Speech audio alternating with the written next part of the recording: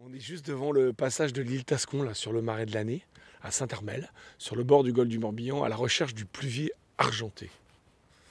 Je voudrais bien qu'eux ils me racontent d'où ils viennent, puisque c'est des oiseaux sibériens, donc qui ont fait les 6000 km entre le golfe du Morbihan et la taïga russe, en Sibérie, la presqu'île du Témir. Ils vont pondre leurs œufs là-haut, donc pas avant début juin. Hein, très très vite, ils arrivent en couple. Dès que ça fond, dès que la neige est fondue, ils vont s'installer. Hein, ils doivent couver pendant plus de 25 jours, donc c'est assez long l'incubation. Il faut pondre 4 œufs, un œuf par jour, donc déjà il y a déjà 4 jours de ponte, après il y a 25 jours d'incubation, et après il faut que les poussins aient 5, euh, presque 6 semaines, 5 semaines pour pouvoir euh, s'envoler et donc revenir ici. en général, en Sibérie, ben, ça correspond euh, début juin aux dernières neiges et mi-août aux premières neiges. Donc ils ont pas trois jours de rap. Quoi. Donc il faut vraiment faire ça au plus vite, c'est la course chronométrée. Les adultes euh, reviennent d'abord à partir de la mi-août, fin août, les, premiers. Et puis euh, les gamins euh, restent prendre des forces dans la mer Blanche, la mer Balte, et, arrivent un petit peu plus tard. Donc on les voit arriver, les jeunes de l'année, en général à partir de fin septembre. Pourquoi ils viennent ici? Bah, C'est surtout les immenses vasières, hein, toute la, partie est du golfe, la rivière de Noyalo et toute la partie est du golfe, là où on se situe, juste devant nous. Dans le golfe du Morbihan, il y a 8000 hectares de vasières, dont 4000 qui découvrent à chaque marée basse. Il y a une trentaine d'années, on avait fait une étude et on avait mesuré toutes les petites bestioles de plus d'un millimètre par mètre carré. Il y en avait 3800. Ça donne des centaines de milliers de bonnes raisons par hectare de venir mettre son bec là-dedans pour venir fouiller dans la vase et trouver euh, quelque chose à manger pour subsister jusqu'à la saison nouvelle. On est salué par un petit rouge-gorge là qui vient nous dire bonjour. Demande-lui comment il s'appelle, tu vas voir, il a un petit accent britannique. Really? Yeah, really, yes, sure. les rouges-gorges euh, qui sont beaucoup chez nous en hiver sont en général des, des, Britanniques qui viennent passer l'hiver chez nous. On va essayer de s'avancer doucement. Tu vois, ils sont là, tes pluviers, tu les vois là Sur l'îlot là. On va essayer de les faire répondre si on peut.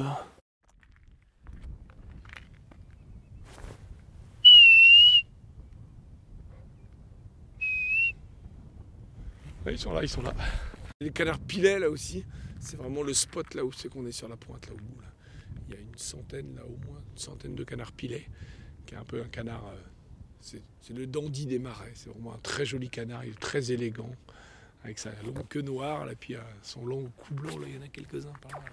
Au début des années 2000, on a vu arriver les premières mouettes mélanocéphales, qui étaient des mouettes méditerranéennes, les mouettes de la mer Noire. C'était génial, c'était génial. Là, il y en a 3 ou 4000 dans le golfe, on les regarde même plus. Donc euh, on assiste vraiment euh, à cette mutation. Là où, là où ça devient compliqué pour les oiseaux, c'est que euh, cette mutation de, de, climat, de, changement de répartition spatiale qui a pris des, centaines, voire des milliers d'années à se mettre en place, là c'est sur une décennie ou deux. Quoi. Donc ça, pour les oiseaux, ça modifie trop de choses. Et, ça va trop vite. Quoi. Oh, un aboyeur.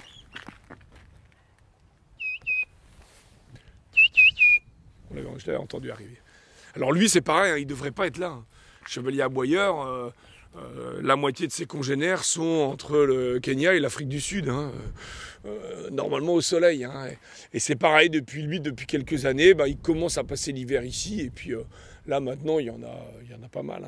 Je crois qu'au recensement de janvier, il y en avait plus d'une cinquantaine là sur le golfe. Ça, c'est les bernaches. Ça se voit.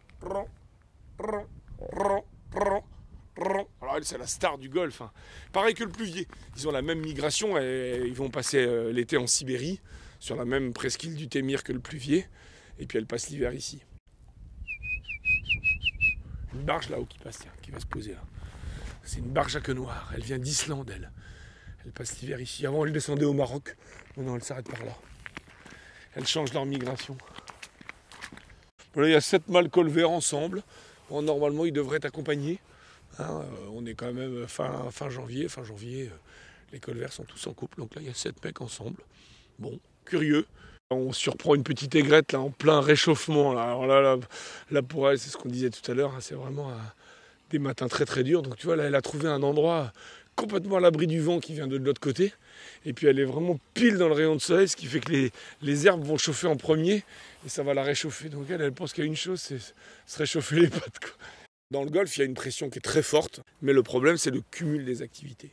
On a évidemment une activité touristique forte, ce qui veut dire des promeneurs, des photographes, des gens avec des chiens, des sentiers côtiers qui sont euh, omniprésents et partout, les gens veulent longer le littoral. Euh, ça, plus des activités professionnelles, qu'elles soient euh, ostréiculture, pêche ou des activités liées au tourisme, kayak, paddle, planche à voile, choses comme ça. Et finalement, le, petit dérangement infime de chacun, multiplié par le nombre d'activités, fait que le golf est de moins en moins tranquille qu'on aménage des espaces particuliers, qu'on fasse en sorte qu'il n'y ait pas de dérangement, qu'il y ait des îlots où ils puissent se reproduire en, toute tranquillité, c'est de notre devoir puisqu'on a abîmé leur, leur, site de reproduction et leur site de vie. Mais, euh, mais après, jusqu'où il faut pousser l'interventionnisme humain, bah là, la question est pleine et entière. On a hérité d'un joyau, le Golfe du Morbihan, c'est un joyau, mais qu'est-ce qu'on va transmettre aux générations à venir? Et euh, ce serait bien qu'on leur transmette encore un joyau, quoi.